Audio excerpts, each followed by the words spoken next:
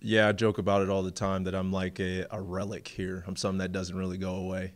Um, but it's kind of it's kind of cool to see the progression of a program um, and to see the development. Uh, I'm excited to say the least. I mean, last year for myself personally didn't end how I wanted it to, but to have another opportunity um, and to be welcomed back into this program um, makes me more excited and want to give everything that I have uh, for this last year. It's a remarkable story, you know, to be at a university for six years with the COVID, with the injury.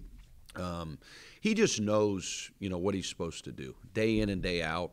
Uh, he's done a really good job of helping John Lovelace and some of these new guys in our program.